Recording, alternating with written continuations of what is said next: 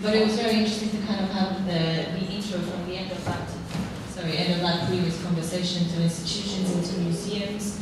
Um, and just to kind of set a bit of like foundational um, context in what museums and institutions are about, just going back um, a little bit, um, institutions have always been kind of described as organizations of religious, educational, professional, or social focus. They've been seen as uh, community centers, so much kind of shared by Guillaume, for example, in this idea of self-discovery, self-discovery to all, so regardless of whether, where you come from, who you are, what you do, it is more just like an open space where everyone's allowed and encouraged to find their own direction, find their own connection, and find a relevance that they have with the objects on display. Um, so I mean, in brief, I would say, and I'm kind of going down a more um, perhaps philosophical route, it's a bit of like an intellectual growth. It's a bit of like a sustainable um, spiritual sustainment and what that means on a personal level. But more historically and rather etymologically, perhaps, um, institutions and more, more specifically museums comes from the Greek word museum, um, which just to kind of add a bit of um, context to that as well, was, was kind of started off as a temple of offerings to the muses, to the goddesses of arts and sciences, and just to trace back to where museums originally started from and the, the whole kind of curatorial um, aspect more so than anything else and how it came about was, was um, a museum actually in 530 BC, which was, I, I found very interesting. I never thought anything like this remotely like this kind of existed at that time. And it was in Mesopotamia, which is in what is now Iraq. It's a place called it was in ancient Ur. Uh, Sorry. It was in, is this? Yeah, It's in ancient Ur, um, and it was by Princess Menengelde of Ur, and she even wrote little labels on cylinder seals for her uh, for her pieces she collected, yeah. which was supposed to be a, an encyclopedia of the world.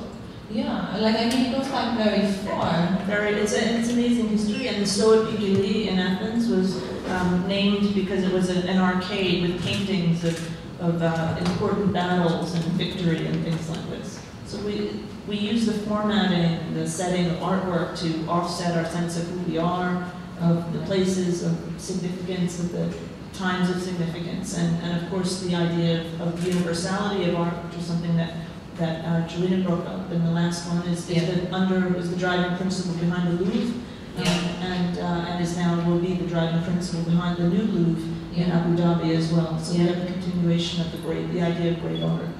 But picking on the Louvre, the Louvre was one of the first institutions um, established in Europe, in Paris, and even to attend that, you had to apply, and it had to be granted, and you were only allowed to attend in small groups on certain days of the week. So then from there on out, it kind of started to flourish and bloom with the Romans, with the Renaissance, with cabinets of curiosities, and it's now kind of come into what we we are more familiar and kind of is more recognizable today. So I mean, if we were to pick on, on that, on, on where like institutions and museums started from versus what they are like today, would you say that the kind of the definition and the context in which they are perceived in, does it, is it the same? Is it kind of, is it equally, um, is it treated in the same way? Does it kind of offer the same amount to communities? I think the best museums try to. I think we're all aware that we all that museums come from this this this model of, of we are instruments of hegemony, and in the past that meant that we were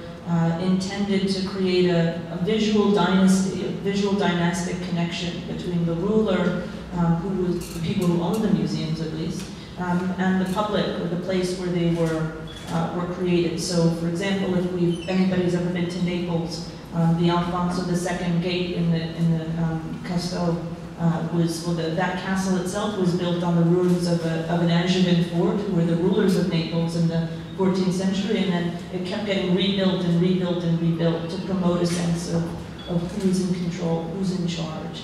Um, very popular. uh, All the rulers of all the European rulers used to have the a sculpture room with um, busts of the, the Roman emperors, uh, and of course their bust um, would be added to that when they died, were. And um, there's that wonderful portrait of Jacopo Strada by Titian, Um, and Jacopo Strada was the, the, the coin was the antiquary for um, one of the rulers, one of the Habsburg rulers. And so we, we participate in this tradition. This is, these are our ancestors. In the same way we can't necessarily choose your, your ancestors, we all have people in the past who were probably criminals or did really terrible things at some point.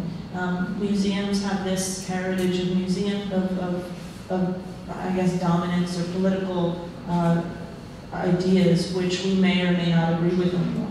And so no matter what we do, no matter how open we are, no matter how participatory we aim to be, and, and that's where my interests are, we still bring this heritage and tradition with us. Museums in the past used to look like Greek temples. Uh, now they look like sleek or sleek structures that are designed by very, uh, very forward-thinking and architects with, um, you know, glasses that don't have any rims. And it's, uh, it, we're still participating in a, in a program of, of visual culture, which is, um, which is kind of understood by everyone. Um, so, you know, we, how do we get away from that? Should we get away from that? And, and should we try, should we pretend that it doesn't exist? And I, am a, I'm a realist, so I don't, I don't really have any truck for people who say we're not like that anymore. Um, as a, as a, in the past, I worked in institutions which have been large national institutions and ornate buildings like the Ashmolean, and I've worked in, um, in other buildings which are much more uh, sedate um, uh, the, my last museum was a 18th century custom house that looked like a prison, actually, um, from the uh, from the wrong side. The entrance was on like the prison side. It was uh, Palladian style, beautiful building, um, but you only you could only see that if you went around the back of the museum. Um, so nice, nice contrast. exactly, very very nice contrast. And it was in a city of enormous socioeconomic deprivation. Parts of the city were over 50% unemployment. So how do you have a decorative art museum with a bunch of old stuff that's somewhat valuable in a place like that? What's its, what's its role? What's the role of the museum in a place like Oxford, where you have loads of uh, people studying all kinds of things, and then also a lot of deprivation as well? What's the role of the Maritime Museum in Hong Kong? How do we reconcile uh, our, our various publics, the people who we are supposed to reach out to, or the people we're supposed to be accessing and serving? And, and so for me, museums are about service. Um, and so that's where I come from. Okay, well, I mean, like service and, and kind of um, broadening out to, to greater publics um, and bringing in new people is something I'm going to pick on soon. But I mean, just to go back a little bit on the whole like, transition of how museums have adapted and so forth in terms of business models. Well, we need collectors. Museums need collectors. We need collectors because it's, for me, the, the, there's a sort of the, the holy trinity of the public, the collector and the, and the museum helps to define taste and what is connoisseurship. What is, you know, who gets to define these things? The public will, will make some decision and they participate in this. Now with social media, it's a little more easy for people to express themselves. The artists create work. Um, I think some artists create work for the market, other artists create work because they feel compelled to do so, and most people probably fall somewhere on that spectrum. I think it's it's um, it's naive to think that that everything is driven by one or the other. There's some sort of a pristine, you know, artist out there. Yeah. Um, well, well, my brother is uh, of the opinion that all artists should really create for institutions and galleries, and my sister is an artist, so she completely backfires on that thought.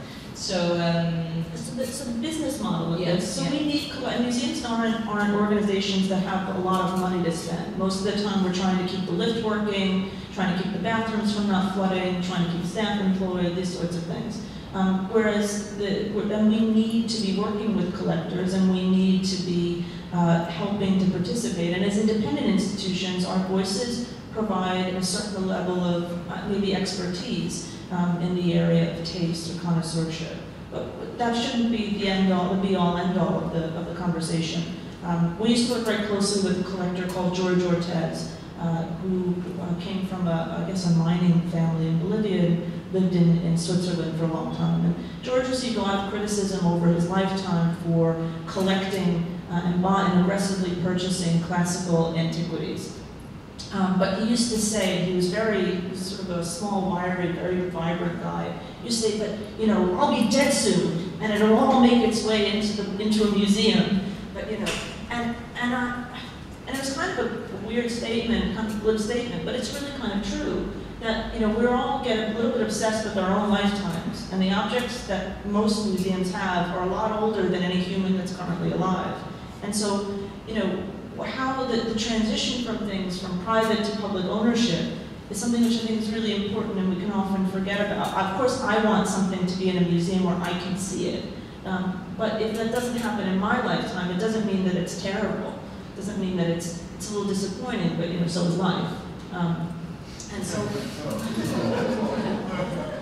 but I, I, think that we can have a very, so like an overly idealized sense that, that if something is a great work of art, then it needs to instantly be in a museum. And, and if something is a great work of art, then it's part of the cultural patrimony of humanity. And, and I think that we need to take potentially a longer view on these things. If the art market doesn't exist, then there's really very few opportunities for artists to be sponsored.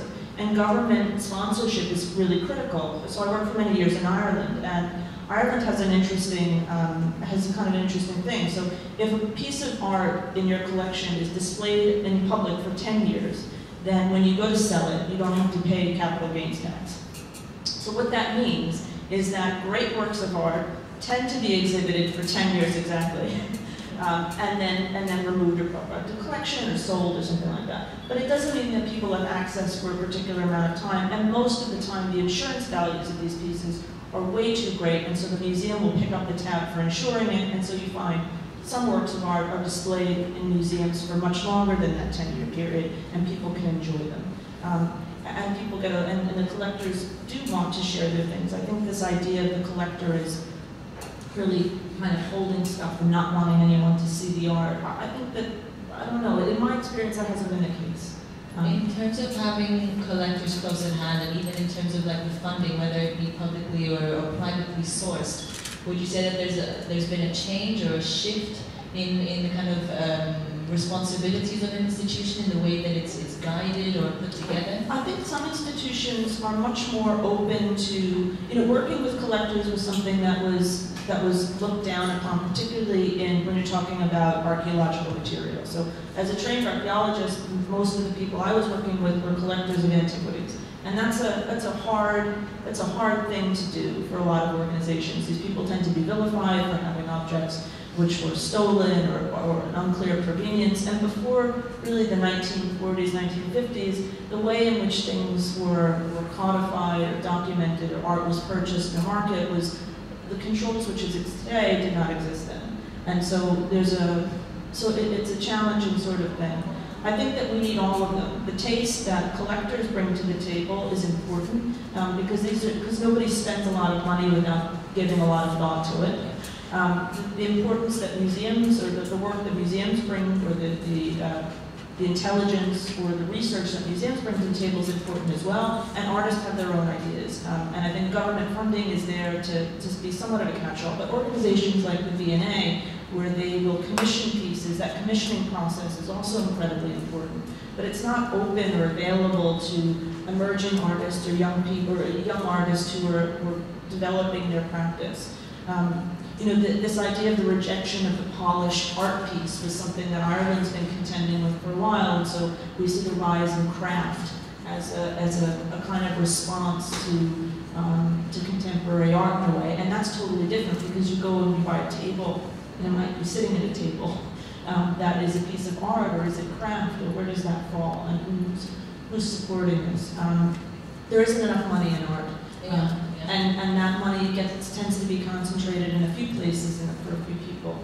Um, and that's that's unfortunate because there's great art that people are making that doesn't get uh, that doesn't get purchased. Uh, and museums don't have the money to be doing that unless you're the V&A um, or Tate or one of these big organizations. But often, sometimes those pieces then will go to auction, um, and the museums museums don't deaccession generally don't sell unless they go bankrupt and then it's another but I mean, in terms of commissioning works and also kind of just artworks in general that, are in the, the collection of these institutions, I mean, like the, the, narration and the way in which visitors are guided is fundamental to the experience of people um, being involved. And I mean, in terms of, of the industry and how much museums generate on a yearly basis, the U.S. Um, museums alone is estimated to be worth about 192 billion U.S. dollars. And I mean, in, in a year, it's, it's estimated to make about 13 billion US dollars a year, and that's expected to rise to 15 billion by next year. So I mean that there is money going around, it's just not perhaps as tangible, or it's not, it's not kind of like feeding in directly. So I mean, with these changing times, would you say that it's, it's a question of quality versus quantity? Like, is, is, is maybe like storytelling more important than the history? Is it more about the artworks, or is it the footfall? Or is it maybe both? Well, I think museums, the number one metric that museums use to determine how successful they are, or that boards of museums are very interested in, is the footfall, the clicker at the door. So if nobody shows up at your museum, doesn't matter how good the stuff is, or how intellectually compelling or worthy your work is, you're going to get shut down because museums hemorrhage money, because that's their, that's their nature. And a lot of that money that you discussed goes, just pours into the museum in order to keep the doors open and keep those artworks in the public trust. Um, so, but I think that we have always, we always strive for quality. We always strive for quality. That is the most important thing. The nature of that quality is something which is very contested um, and something which is always benefits from debate. The more debate you have, the I don't know if it's about building a consensus so much as as really interrogating the nature of art, the nature of, of of, of, what is the role of art in our society. And that definition will necessarily change over time and change based on cultural identities and the, the needs of a particular person or community at a particular time. And so we're, so museums strive to answer that. I don't know, we don't get it right all the time, but nobody does. Um, and so the more, uh, the more we process this stuff and the more we kind of go at it um, and debate it and roll our sleeves up and dig in, the better everybody else is. Um, so, but we do need artistic production. And the, the number of pieces that can be acquired or the number of pieces that can be shown will always be the smallest fraction of what's produced necessarily. And, and you know, however, and we're, we're all inundated with content now. You go onto Instagram and you've got to contend with pictures of food and pictures of cats and then some art, and then there's like somebody's kid. Uh, you know, there's loads of, of material that we have to sift through, and some of it is, is going to get lost, but we're going to see a lot more than we would have, say, 15 years ago. Um, and Instagram is fine, and that's one platform, loads of platforms. Um, and everybody said, you know, digitizing works of art are going to mean that people don't go to museums. Thankfully, I haven't heard that question come up at a conference um, for a few years. So that's really good. The last time I heard it, I was really I was delighted and um, but this idea somehow that, that digital means and, and increased production or increased access somehow means that the caliber of what we what we will do or will acquire is going to be um, is going to be diminished. And I think that that's a, that's silly um, because the more voices people have, and the more they hone those voices, the more that means that people's sense of taste and the public taste will develop. And that's something that's also very important. Um, well, I mean, you just picked on certain keywords, which I think are really important. You picked on like debate, on voices. So essentially, like a, an institution, you know, bases a lot of what it does on communication and what communication even means. I mean, if you were to communicate, it's a form of interaction. It's a kind of a one-to-one or a, a multiple to one or even like a, a one-to-an object. So I mean, like it could be a one-way conversation. But I mean, something that I came across the other day, which I found very interesting, was this uh, firm, it's an organization called Museum Hack. I'm not sure if anyone knows about it, but it's essentially the tour guides in the US. Uh, it's just a group of guys um, who put together this firm, and what they try and do is get the haters, the people who always think institutions are rubbish or not exciting enough, and kind of, you know, through interaction, through conversation, through their kind of touring, try and change their understanding of how museums work, maybe that they are cool places after all, and you know, and what, what can you actually learn from it at the end of the day, and there is quite a lot. But I mean, I've always been a fan of institutions. I love the whole idea of, of um, seeing kind of curated works in a space, um, and how that kind of gives a story of its own, of, of the works in the space, and what that even means as a, as a two-way relationship. And personally, I find the experience really soothing. I've always enjoyed the silence. I don't like people like gossiping next to my ear every five minutes. Um, but there are a lot of people who really dislike this. And one of the ways that they go about this is that they've got three main principles in their tours. And their tours are all about guides, so people, uh, and how they are able to kind of get in touch with you and come across as being more, more open, more kind of sociable, more fun. Um, they've got games, so again, it's more like an interactive thing, and they've got gossip. And gossip is what I think is, is a drive. So I mean, like in terms of Instagram and cats and food and kids, I mean, everyone likes to know the know-how. Like, oh, what did she do last weekend? You know, what did she eat for lunch? So I mean, like it's this, it's this, the subtleties, and art is all about subtleties. Now, like there's so much information within the art, which might not always be kind of, you know, obvious at first sight unless you read about it or tells you about it. So again, it goes back into this kind of interaction back to what you were kind of picking on earlier on. So how are institutions broadening their their reach, kind of inviting new people in? Uh, how are you converting these so-called haters? Well, uh, in, I think it was around 2009, um, maybe it was 2010, the Walker Art Gallery had this something called the Open Field Initiative. And kind of as a joke, they decided to run a cat film festival. Um, 40,000 people showed up. the next year, I think it was a quarter of a million. This was not an expected, this was not an expected turnout. Maybe the second year they thought it'd be bigger than 40,000 there is a, we have some, museums are, have this idea of a hierarchy of art. In the past it was painting. At one point um, in the 18th century, uh, ancient Greek vases, which are beautiful and expensive, were considered rubbish because they're made of ceramics. Um, and so people didn't collect them until uh, Sir William Hamilton did in the Bay of Naples, and then his stuff got sunk in the bottom of the ocean. And then, anyways, the British Museum, and there's a huge area of this one of the driving, one of the motivators of that collecting process was connoisseurship. And in the early 20th century, Sir John Beazley invented the connoisseurship of, of classical vases, and the, with the Berlin painter being the, the one, his, his article. This idea of connoisseurship really turns people off. Some people love it. Um, it's okay when it's related to old master paintings. Once you start talking about connoisseurship in the 20th century, the 21st century, people think you're kind of a jerk.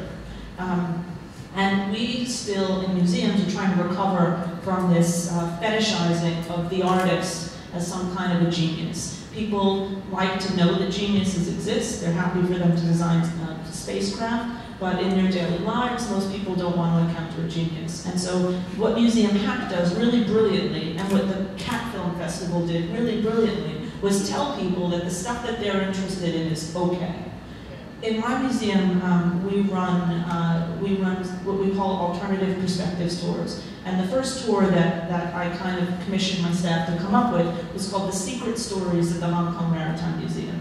And it was all behind the scenes stuff that happened when the museum was being set up. So one of the my one of my education officers called Tom, and he was part of the team that installed the museum originally. And so he was able to tell the stories. This one almost broke this happened like this. People like that kind of a thing. Um, my previous museum, we developed a queer tour of the museum. Um, at the current one, we recently acquired a really beautiful 18th century scroll painting. It's called the, the Alexander Hume painting. And it's really pretty. And we put together an academic lecture course on it. And that's fine. One of the things that people really, so people are looking at it. When I'm walking by the gallery and I see people looking and they walk away, I said, did you spot the opium den in the painting and the brothel? and then people pay attention, and they go back, and you've never seen people look so closely at a painting before. That sort of a thing, that kind of a humorous, light-hearted approach that means that people find something they're interested in, which isn't to say all of our visitors are interested in brothels, but that kind of a, a secret story, the embarrassing, the, the, the that makes something which is notably just pretty into something which is about real life.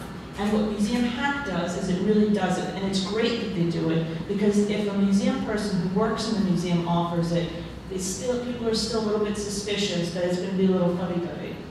But if somebody comes into a museum from the outside and is a hacker, is a, this kind of illicit, um, you know, illegal, not really allowed, people like the verboten. And so if you provide a, an avenue for that into a museum, people make that connection.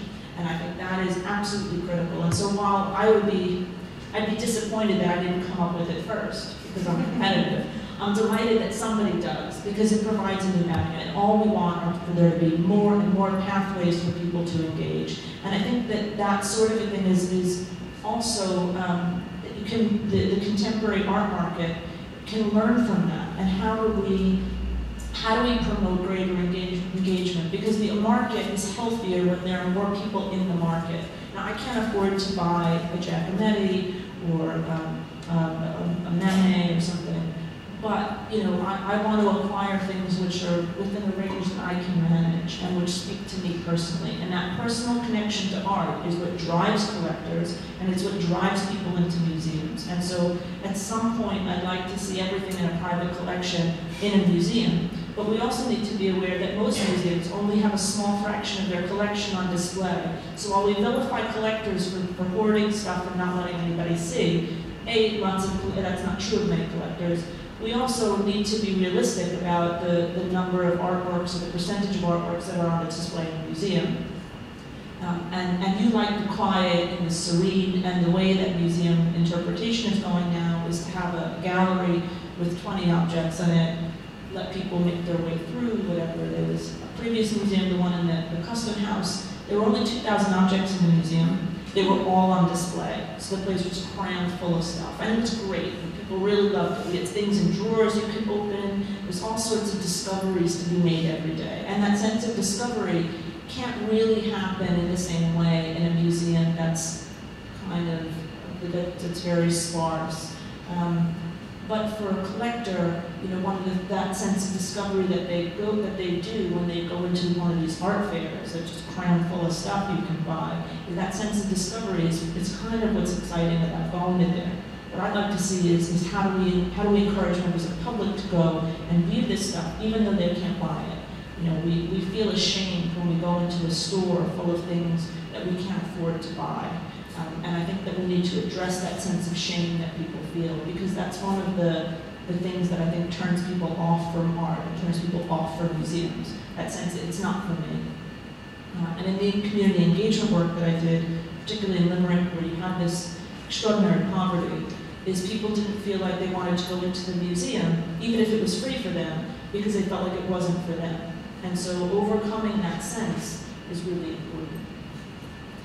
You picked on private museums. We're in one. I, I think it's great. But I mean, there's also, there's been a, boom in private museums. There's actually been a, a recorded 317 private museums in the world, and most of them kind of came, came into fruition after 2000. About half of those have been set up in places of residence of the collectives that have kind of put it all together. And other than the tax incentives, which is no secret, um, it's more about being like a lending library. So it, it kind of it adds um, a cultural dynamic to the, the place. It adds to art history in the making. It you know it kind of like it it um, allows the collector more power over the circulation of the work, over the display of the work, over the kind of recognition and credibility of the work as well. So I mean, how are these private museums, which kind of like pop up overnight, um, adding momentum? How do they contribute to the institutional ecosystem? I think the more, the museums are a bit like crisps. The more there are, the happier everybody is. Um, and I think that's a good thing. You need to have uh, a, an environment which is a, which is a community, and a community of museums is great because we will all we create a, a, circle that as museum professionals we can engage with, we can interact with. This, these are other people who know what my life is like, who I can talk to and share ideas with. And ideas are the things that drive museums. Um, museums are, we have the objects, but the objects don't tell you about them. Um, you, need, you need people who work in the museum to think about what are we going to do with this thing? Uh, how are we going to display it? What are some of the ideas? And some of the best conversations that, or some of the best uh, exhibitions or interpretative programs have come from conversations with other organizations. So I think that, uh, having said all of that, um, I think that it is, there is something that, uh, by what I mean by public, I most museums are some kind of a public-private partnership anyway. In order to get a little bit of government support, you get some fundraising support in from philanthropists or, or companies or organizations, and then you get some of your ticket sales or you sell keychains or something. Um, so there's usually some kind of a, it's not usually a, a very straight up and down, this is a public museum, this is a private museum. Our, funded, our funding is blended. Um, one of the things that museums do have, though, which I think is incredibly important, because we do hold objects for the future, for future generations as much as we hold objects for now, are our standards and accreditation. Um, some, some, some countries have very strong accreditation processes. Some countries have uh, less developed approaches to accreditation. But those, those standards and those, those things that, that people subscribe to are extremely important because they provide a, a sense of a benchmark for how we uh, look after objects in terms of climate control, in terms of acquisitions. Um, keeps us on the right side of the law, and it keeps things like the illegal digging for treasure um, at bay a little bit. And those are really, really important. And I think that whether a museum as public or private, there should be some kind of a, you know, a desire to conform to these, these standards. And maybe it means that some object, you end up not buying it,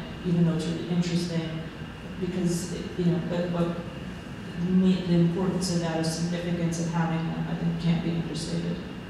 But there, is a little bit of, um, I don't know if competition is the right word, but I mean, like, you've got public institutions, you've got private institutions, there's also a financial difficulty, but there's definitely been investments in kind of in rebranding, in renovation, in rehousing. We've got so many new pop-ups. Like I mean, you know, we've got the National Gallery recently launched in Singapore. We've got the Tate's got an extension.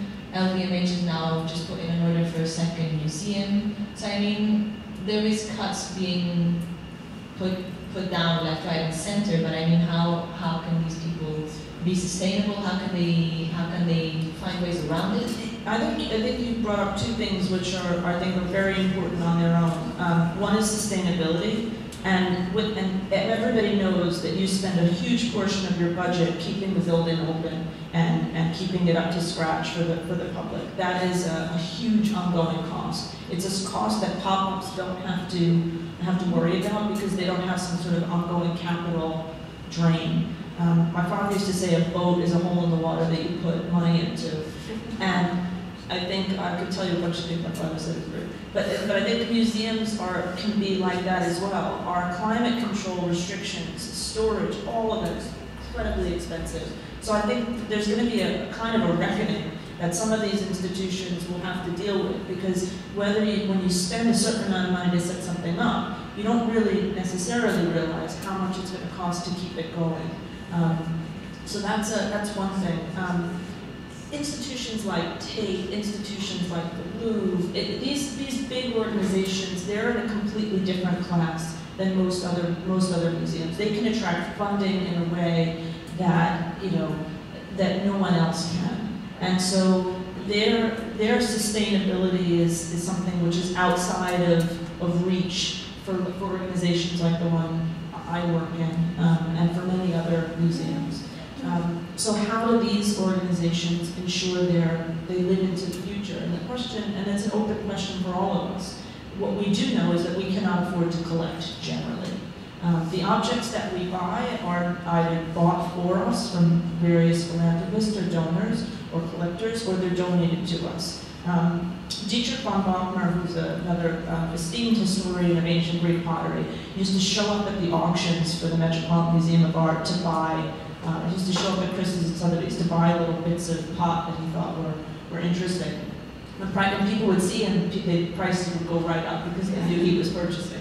Museums can't afford to aggressively collect, and the, the organizations that you see that do collect on occasion, they don't buy that much. Um, so we have to work with collectors, and we have to work with members of the public. You know, crowdsourcing for the, the purchase of a particular national treasure in the UK is something which is kind of developed at this point.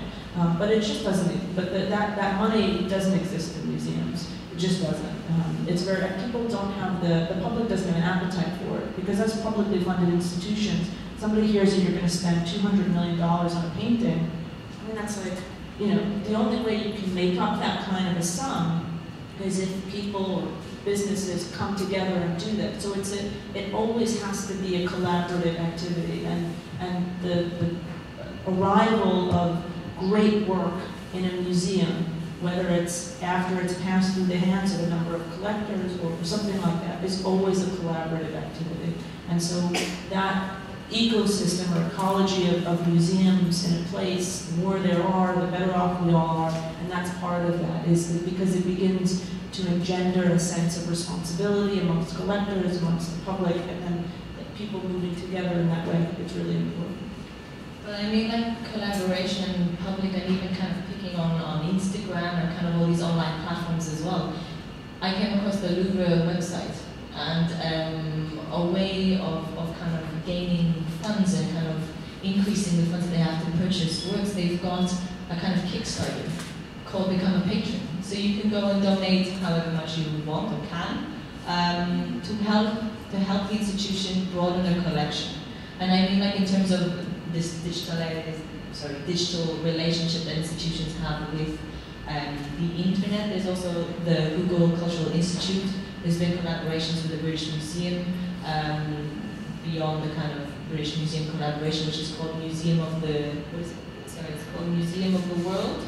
Museum of the World. They've also got um, the Google Art Project, so it's all about kind of getting into the nook and cranny of paintings and being this really like personal um, understanding of, of you know how it was created, what it means to you, going back to divine providence and whether there's any kind of like you know divine relevance to you and how you relate to these works. So people who are maybe on the other side of the planet and will never visit these institutions, this is the best way to get involved.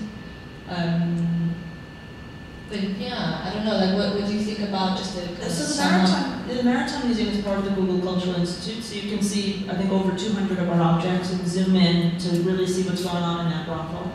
Um, uh, it's important, you know.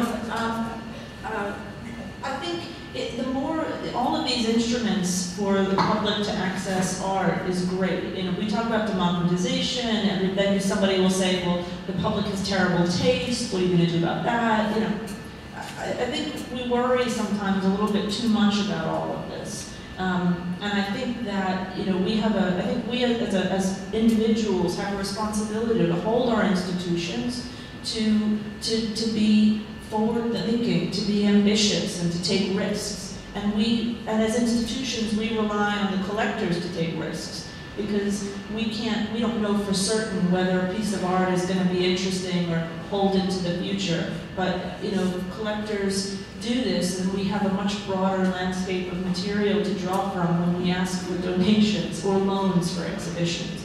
So all of these things work together, I think, really, really well, and we've come a long way since since sometime in the really the 19th century, um, and this idea of museums being being for the elite. I have a wonderful little um, quotation that I, I love, and I'll, I'll read it out. It was um, the introductory remarks of Henry Cole, who was uh, a director of the V&A when it reopened uh, in, on the 16th of November, 1857 and he talks about the museum's aspirations uh, as part of civic society. And he says, in the evening, the working man comes to this museum from his one or two dimly lighted, cheerless dwelling rooms, in his fustian jacket, with his shirt collars a little trimmed up, accompanied by his threes and fours and fives of little fustian jackets, a wife in her best bonnet, and a baby, of course, under her shawl.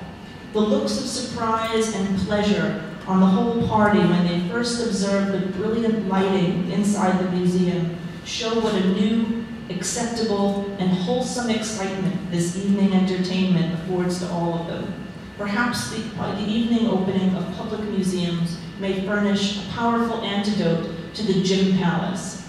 So the idea of the museum as a place of delight, place of wonder, a place of awe. Um, not a participatory institution, but something that you go and see because it means it's better than having a drink. Um, I think that we've, we've come a long way from that idea, but I still think that that is the perception that exists amongst the public of what we expect. Come to a museum, it's good for your soul. And I think that we have a, that collectors whose job it is to delight in these objects, to to, to search out and to find these things I think that we, that people can vilify them for owning this stuff, and then they vilify us for putting it on a wall someplace that they don't feel welcome. And I think that we all really do need to work a little bit harder together to try to, to change that perception, but I think it has to come from a place of integrity rather than some tokenistic idea that, you know, come to the, instill this idea, come to the museum, be good for you.